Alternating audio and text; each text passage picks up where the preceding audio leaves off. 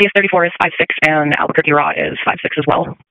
Today at around 3:30 p.m., Albuquerque Police Department Southeast Command officers responded to a shooting scene. Shots rang out in the 400 block of Indiana Southeast. Officers found an individual who had been shot at least once in the upper leg. APD officers were able to quickly respond because they were nearby handling a car crash that had injured two pedestrians with non life threatening injuries. While officers were investigating the crash, they heard the gunshots and responded to the shooting scene. An ambulance transported the shooting victim to a local area hospital. Reportedly, they are now in critical but stable condition. Indiana Street Southeast was shut down near Zuni while detectives from the Gun Violence Reduction Unit investigated the incident.